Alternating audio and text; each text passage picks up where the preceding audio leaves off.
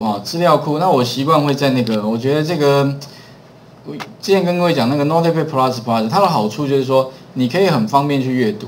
那特别注意就是说，你用 Notepad Plus Plus 开的时候，记得在程式语言里面哈改成 JavaScript。那，它的好处就是说，我觉得哈这个编辑器至少比那个呃 Dreamweaver 来的好很多。因为为什么？你看那个标签有没有？这个前刮弧、后刮弧会帮你 mark 起来。还有就是说，你们比如说选择这一个方法名称，对不对？你把它选选择之后，你会发现下面的方法名称也会秀出来。啊，这个是在那个啊 Dreamweaver 里面没办法做到的。所以当然我是觉得这样已经算不错了哈。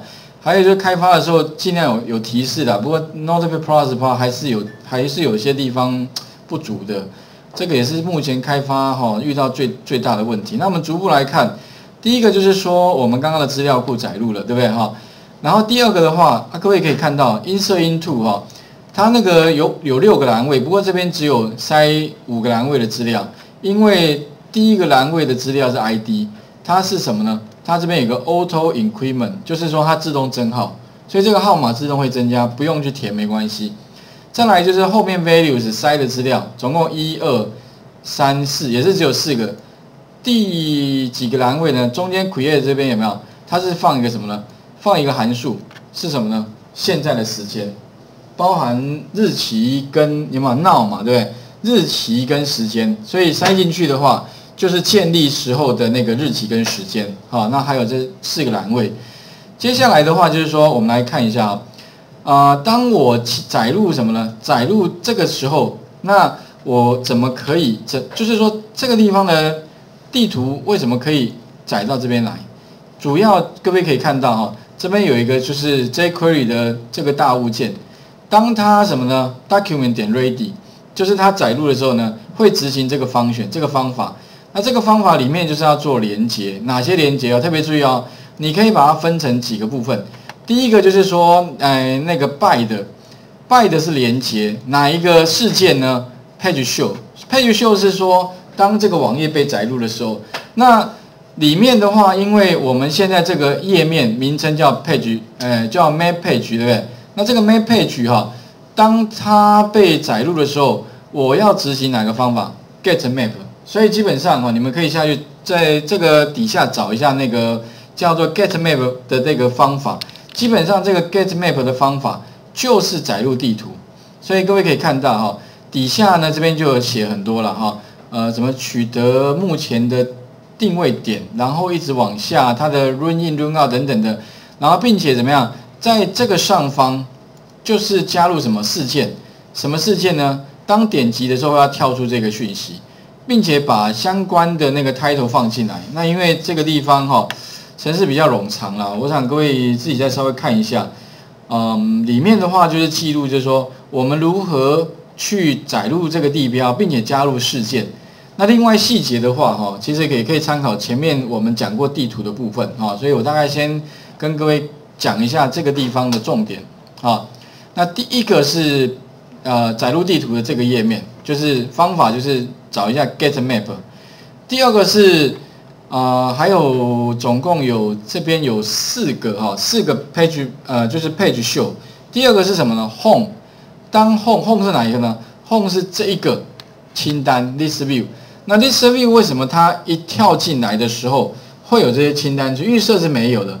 可是呢，我怎么样从资料库里面把清单叫出来，放在 list view 里面？哎，这个地方请各位看一下，它会去执行哪一个呢？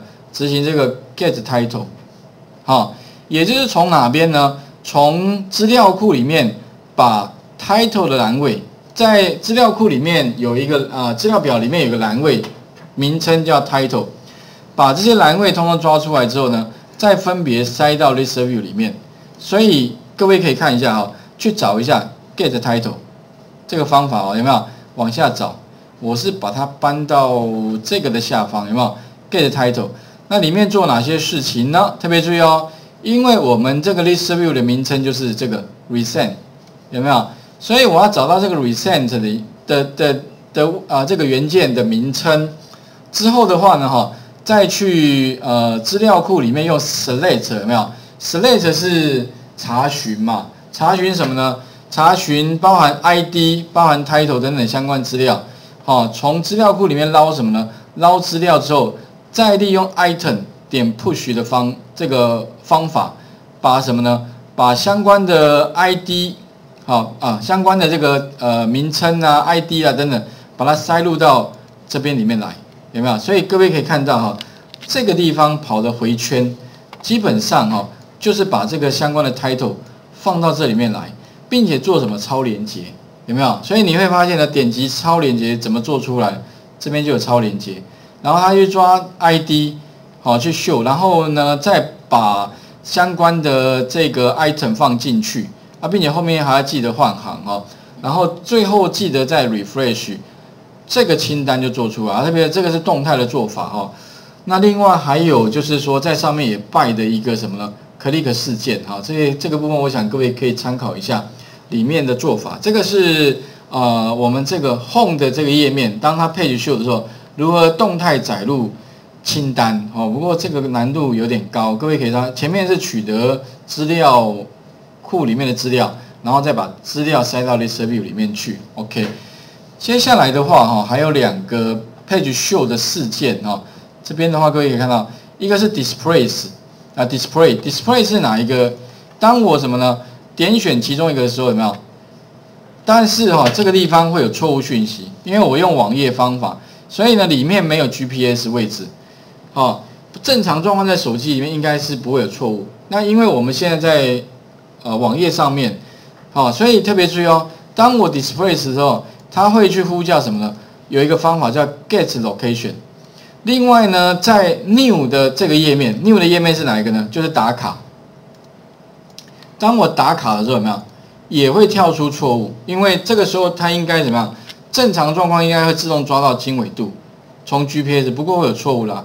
那实际上刚刚这两个页面都会执行这两个方法，叫做 get location。那所谓的 get location 哈，实际上就是在底下，我们来看一下。基本上这个 get location 特别注意哦，就是呃 phone gap 里面如何抓到手机里面的经纬度。所以以后如果说你希望你的手机能够抓到经纬度的话，可以参考这个方法，甚至可以一模一样复制贴上就可以抓到了。那这个方法里面有哪一些重点？我们来看一下。基本上哦，各位可以看一下，我在这底下哈有看到 get location 对不对？实际上就这一行程式，哦这一行程式啊里面的话会有要还要再写两个方法，一个是。L O C success 有没有？如果成功的话，如果是失败的话，有没有？L O C location fail 就是成功执行这一个，失败执行这一个。所以基本上哈，这边其实是应该讲起来了哈，应该会有三个方法，也就是以后如果你们要参考的话，记得要三个一起 call，而且你不能够只有改一个哦。好啊，刚刚同学有问到这个部分，好。我们就来，那这里的话特别注意，如果成功的话，它就是怎么样呢？把这两个经纬度、纬度跟经度哈塞到哪边呢？塞到元件。那这个元件在哪里？其实刚刚有给各位看过，就是塞到什么呢？塞到打卡呢？就新增页面里面的呃，应该是这个跟这个有没有看到？塞进来，所以将来会在这边看到塞进来，这边会看到，有没有？啊，如果说失败的话，因为我们在页面上现在是没有 GPS 啊，另外它也会怎么样？帮我把它存在哪里呢？存在这个变数里面，将来可以用。好啊，最后 return true 了啊啊，如果失败的话，它会出现什么呢？出现一个 message，一个讯息，用那个什么 alert，就是我们刚刚看看到的嘛，就是我点下来，因为这个东西就是什么？这东西就是这个。Alert 的讯息有没有无法取得 GPS？因为我现在在网页上面，但是在手机上就不会这问题。好，那刚好同学问到一个很好的问题啦。